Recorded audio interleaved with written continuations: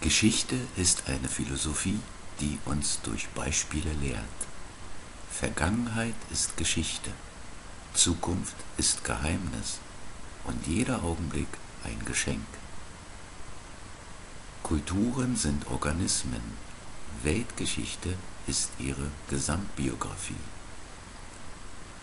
In jedes Menschen Gesichte steht seine Geschichte, sein Hassen und Lieben deutlich geschrieben.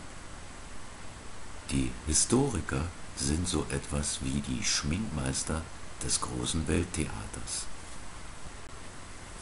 Die Liebe ist der Endzweck der Weltgeschichte, das Amen des Universums.